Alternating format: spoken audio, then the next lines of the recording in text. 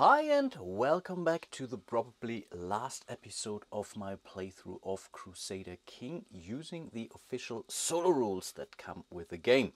The game could be over fairly soon because we need two more successful crusade actions in order to get into Jerusalem, which would all of them award the respective player the King of Jerusalem achievement, which I want, obviously. Uh, one thing to note is that Spain has two Crusade cards in their deck. Um, I also decided to go with two. I already prepared all the decks, by the way. And yeah, I think with that being said, we should be pretty much ready to go. There were a lot of goofs during the last episode of the game. There were actually a lot of goofs throughout the whole series, actually. One thing that I was being made aware, and thanks so much for that. Yes, um, I was thinking about when I think it was France who went after Burgundy. I think I had a pact with Burgundy back in the day, and I was wondering, do I get a casus belli against France when they invaded territory which, who I have a pact with? And yes, that's the case, which is definitely good news. It doesn't really change a lot of things right now, but maybe it could a little bit later. So I will definitely put this crest on my politics track here accordingly. These are my hand, or this is my hand of cards. Again, I have done that off camera. And I think with that being said, we should be pretty much good to go. I believe Spain, Iberia is the starting player and they want to marry, I believe. And as no player has a casus belli against Iberia, he's going to marry his heir to the throne, Urraca, to Guiscard of France. They will go for neutral territories with green tokens. So yeah, let's try to do that. Again, I'm definitely not paying against it. That trade back is suboptimal, I would think. They really have a lot of red trade tokens brooding here. And the second one would be Lustful, which is a critical trait. It's red, it would be a fail, but in this case, being Lustful does help. So Iberia was successful in this case. So Guiscard joins the ranks of Iberia here and wow this is really a huge genetic pool actually and so yeah, let's also not forget to place a pact token into Normandy. Over to me. We have still Friedrich. He's our firstborn son. We had another son, forgot the name, but who had a green um, token. Unfortunately, they were murdered by, I think Italy. Pretty sure it was Italy. They kill people left and right in this game. And yeah, um, we could marry him to someone. And yes, there is still a good candidate down here in Dalmatia. Exactly. Uh, the generous Agnes. And I think we are totally trying to marry Agnes. Do I want to pay something for this or not? Mm -mm -mm. I think not. I want to hold on to my money. I think I really need it. So let's see. And ooh, the imbecile trade kicks in. So we were not successful in this case. Now that's a bummer. But then it's over to Italy. They will go to the closest location. They have a daughter, Felicia. And yeah, daughter can't marry Agnes. So I think Melisende is out. So it's I think yeah, it's the only candidate is Louis up here. That's the closest territory. So they will totally go for Louis in this case. But yeah, that's really bad news for the next generation in this house here. Basically, a lot of red tokens will get added to the trade back. But we may not see that in this playthrough anymore. I mean, we still have one more H token that they could take. So let's see what happens. Of course, the king could always die but at least they have a pact now with Brittany. And I think that's it in respect to marriages. So France doesn't have any children or siblings or whatsoever. But as far as I understood the solo rules, they do not really care about their siblings, actually, only their kings, queens, or their children. Then let's plot. And I think we want to tax first. We give another child to Italy getting used to that. And then I was really thinking of doing another plot overthrow. Again, I still try to overthrow the unrest token of Italy. And with the money here, we should be able to do that. So let's do that in this order, putting the tax card on top of things. On the other hand, now we don't know. I think let's not go for the crusade just yet, um, because I'm kind of hoping that one of the others, and really only one of the others, is now going through a crusade, and then I will do that with my very first action. But things could really turn sideways here. And of course, one thing I forgot, they had the Divine Marriage card. Mm, I think the next time you marry, your marriage attempt will automatically succeed. So we can basically get rid of this. So let's draw the action card for this round. And it's the Crusade. Okay, that's really bad now. But then again, they need to be successful, right? I think they will send their newly wed spouse from Urraca. And yeah, I think let's do that. They could send the king though, because if the king dies, yeah, that's a point now. If he the king now dies, he gets a lot of green tokens in the back. I think he's sending the, the king. No, he has to send the king. So he's drawing two. I'm not paying against that. I don't have the money anyway. So here is the first one, a lunatic.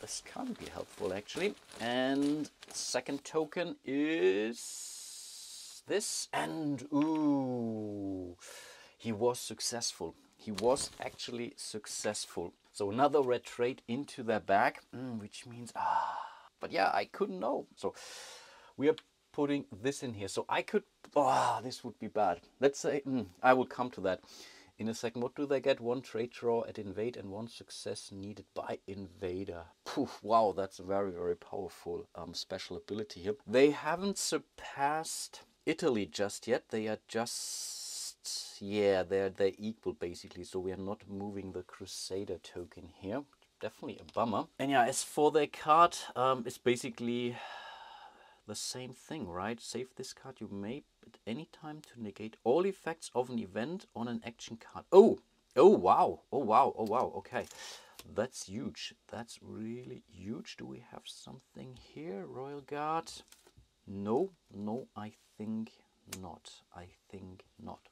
Over to us, we definitely need some money. We still have six mobilized territories. The bank doesn't kick in, unfortunately, which means we are simply getting six coins. Definitely not bad. We will make use of that for sure. Uh, it's six, right? Yeah, nothing else. Yeah, we have lost the other perk from Aleppo, I believe. And then, yeah, we are basically giving a child to Italy again, which shouldn't be that big of a deal. So let's see, we have Juditha and Juditha is chaste. Okay, finally some green tokens are entering their dynasty. Not too bad, and I think we might as well stay here because it's their turn. And again, if they're now drawing the Crusade card, the game is over. And it's not. It's a plot overthrow. And I think they will manufacture a casus belli against France again, an adjacent player. Yes, for sure. So we are drawing two tokens.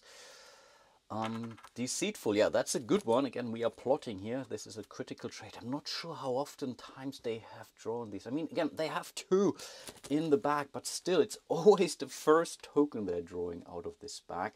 So yeah, they were able to manufacture a casus belli against France. We really didn't see a real fight actually in this game, or war in this game um, which is not too unusual. This is so this kind of a Cold War scenario in a lot of instances.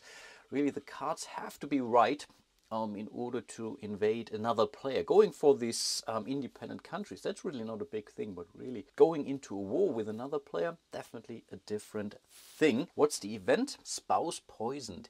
Your spouse is poisoned by an unknown culprits, by unknown culprits, and that he dies.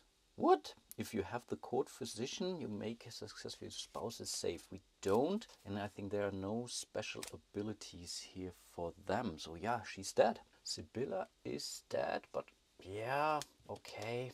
I guess not the end of the world. Yeah, I think yeah, sorry for her, but not for the dynasty. He has two children, healthy children actually, so I think they should be in a good shape.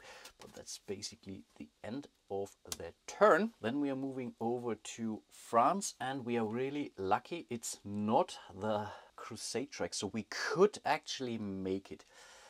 Okay, we have another plot overthrow, and in this case, um, they are going to manufacture a casus belli against Spain, but I think again I have forgotten the Chancellor, but this time not too late at least. I kept forgetting this um, Chancellor ability here.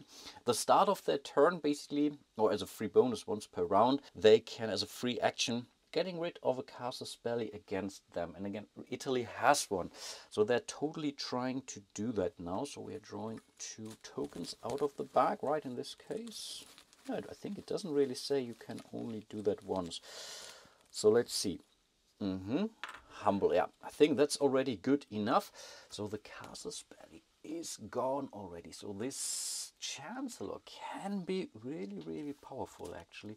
Would be much better for the Spain player, for the Iberian player actually, because he's so defensive. And now we are actually going for the Casus Belli against Spain. And I think they get you may attempt to remove one casus belli. You know, gives you an extra token when you attempt. So basically they're drawing up to three tokens against Iberia here.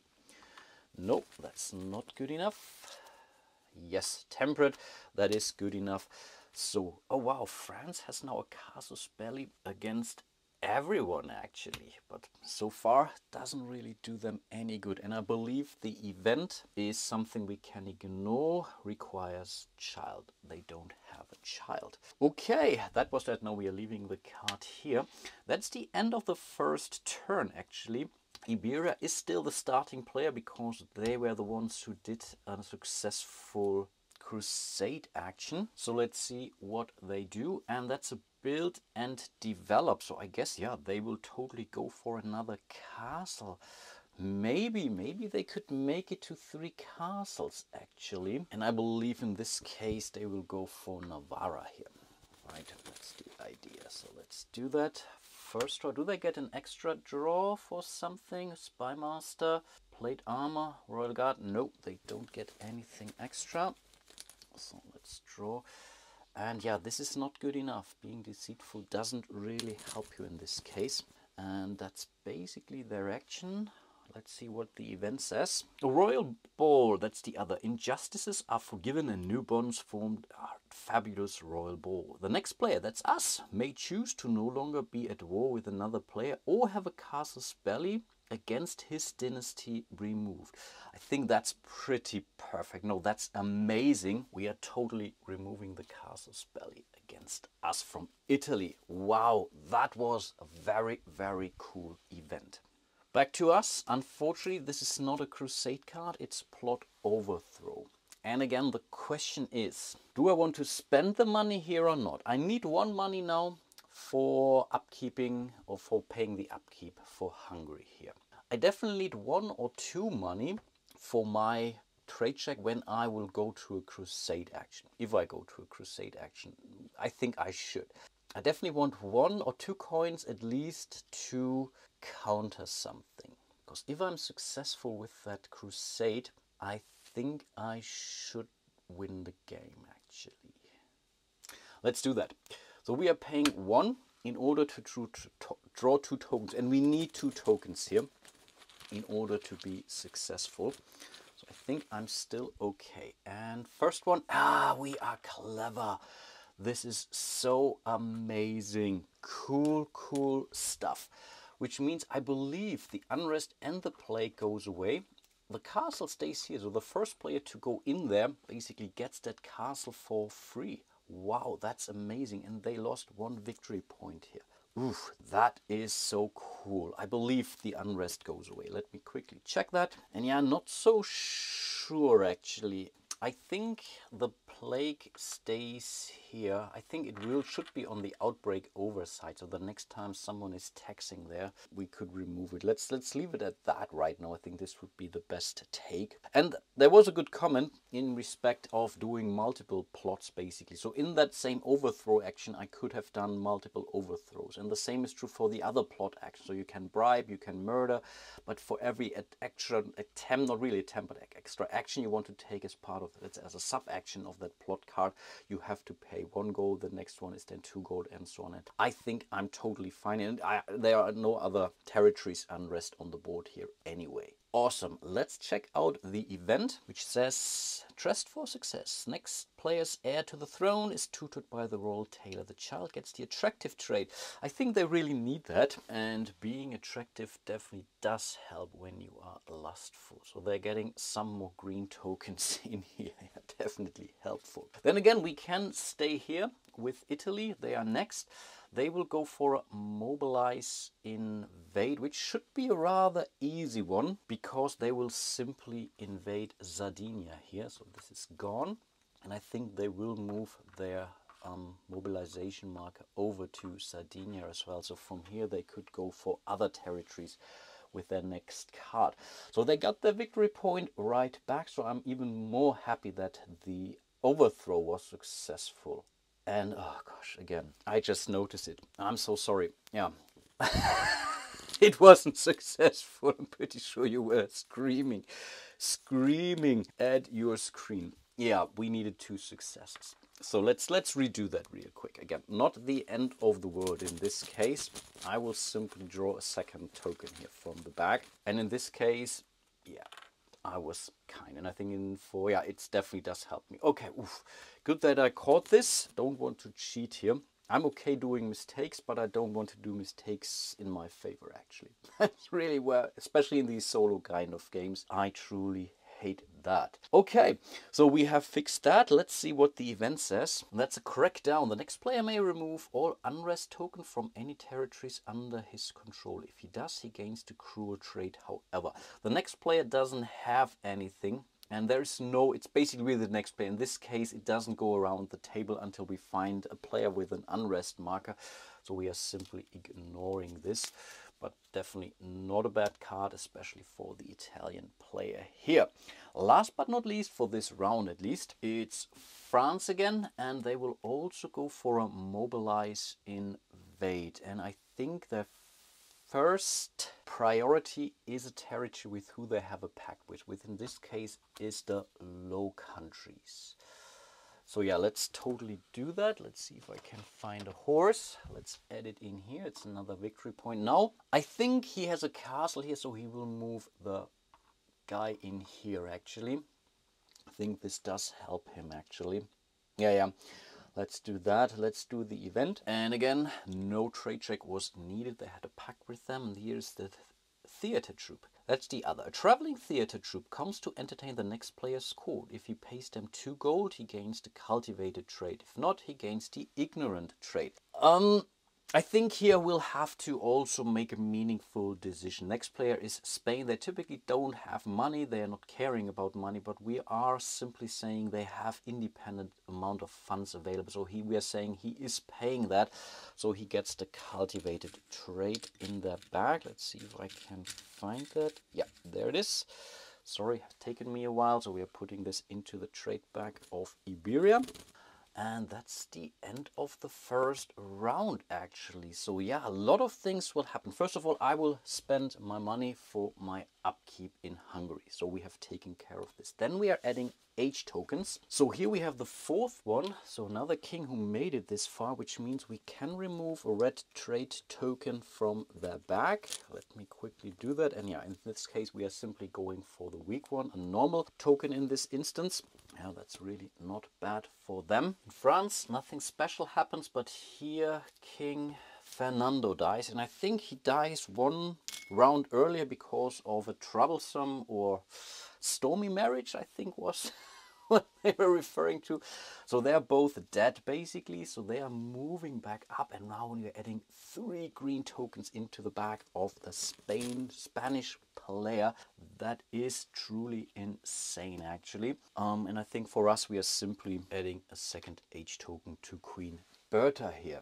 Yeah, then we are moving into the second round. We are trying to marry. Spain can't marry, but we are totally going to try that, but only with one token. I'm not paying anything here. We are trying to marry Agnes to our club-footed Friedrich. And again, we are. I mean, we tried it once. She didn't fall for it. And I think the only one left, no, we have King Umfredo actually of Italy. He will simply marry now to, oh no, I think, hmm, I think he will go to the closest one. And I think in this case, he will totally go for Agnes. She's green, right, in the end. And this case, again, we have to do meaningful decisions. So we're adding this to the trade bag. So that was pretty cool. I think he removed the red one and is adding a green one now into the back. That's pretty huge. And he now has a pact with Dalmatia. Of course, oh, wait a second, wait a second. Of course, he has to be successful first. So let me redo that. I'm not paying anything for that. I think this was the generous token, so I keep forgetting this. too much going on. So we are drawing two tokens, but I think he will be successful. I think no matter what. Yeah, he's clever. No worries in this case. So we're adding generous back in here. So he married she's now married to very old Umfredo actually. And yeah, we are also adding the pack token here to Dalmatia. And that's the end for the marriage step. I can still create a duchy now, but I do think we might end it here. So we are playing the Crusade card on top because we are the second player. That's really what matters now. And the Mobilize Invade goes as the second card as part of our plotting step. Still, Iberia is first. So let's see what they do. It's a Mobilize Invade. Hmm. For them, it's again a tricky one. Mm, but I do think they are going to invade because they would also be brought to six victory points. And this is, I really do think that this is a defensive move for them. So yeah, they will totally do that. So let's see, we are drawing two tokens. I'm not countering this. Ignorant? Nope, this doesn't help. I really, really added three green tokens in that bag now. And yeah, too lustful yeah, they were not successful taking over Elvira. They, I think they also weren't able to uh, mobilize another one here. I'm not sure if it's rounded down or up, but think going after this territory here was the better deal for them. Relatively certain about that. Then we have, oh yeah, we know this one, or at least a similar one, leprosy. Your king falls in with leprosy, leading to eventual ugly lingering. Okay, we're we getting the ugly trait, and we don't have the court physician. Yes, so we have to, yeah, there is another ugly trait in here. So we're adding it into the bag actually, and they're also getting a different, I think they also got this last time. Yeah, yeah, yeah, yeah, yeah, absolutely. And also take one H token. Now that's pretty, pretty brutal for them.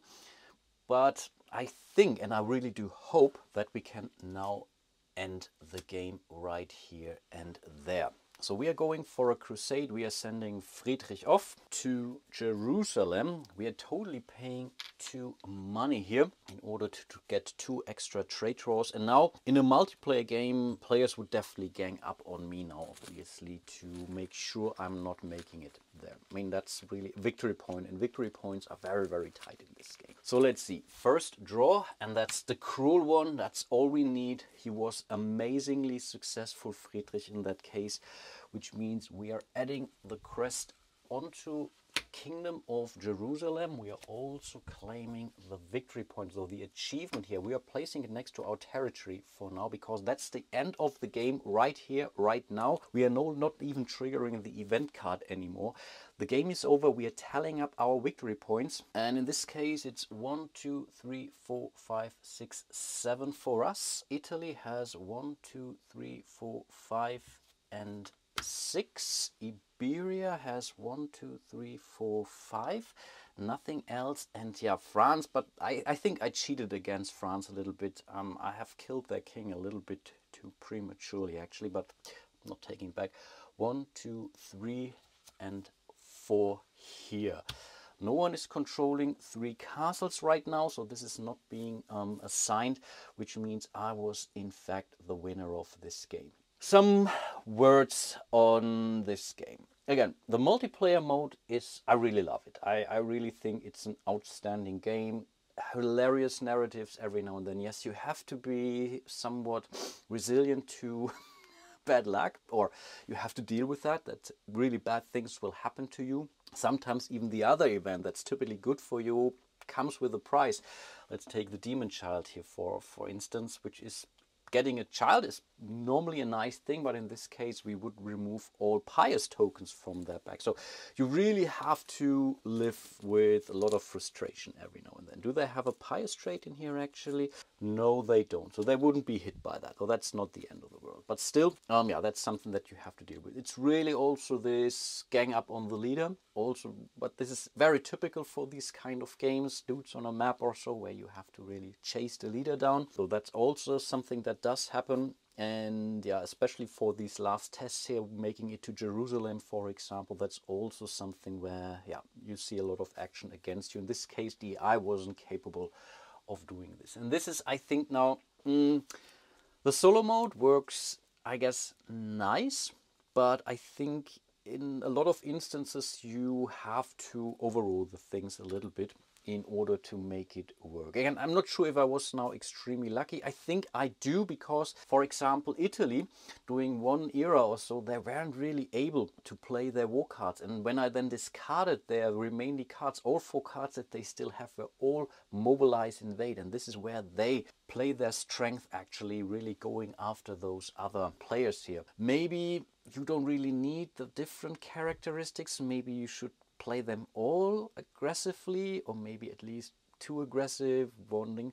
Not sure if, if Iberia is in any way helpful. Maybe you have to place them somewhere else. Maybe again, was a lot of factors what yeah, in the end changed the outcome of this game and definitely it's also on me I completely goofed up a lot of things Mm, anyway I still enjoyed it. For me it was more the narrative experience now rather than feeling hey yeah I have won. I, I really don't care in this case. Because again I was really able to put myself out here relatively easily and because no one was able to get after me I wanted to get after me because their flowchart said let's go for the easy prey first here. Also maybe something which you should then maybe incorporate in in future playthroughs where you think okay now Italy should have gone for this but actually they should go after me because they see I am winning which a normal player would have done I guess in this case but yeah that's basically how you play Crusader Kings. I learned or relearned a lot about this game. I again totally like this game and also really enjoyed the solo mode here. I think it does work per se and if you're playing it more often I'm pretty sure you're coming up with some house ruling, you know how to steer the AI properly to make it even more of a challenge.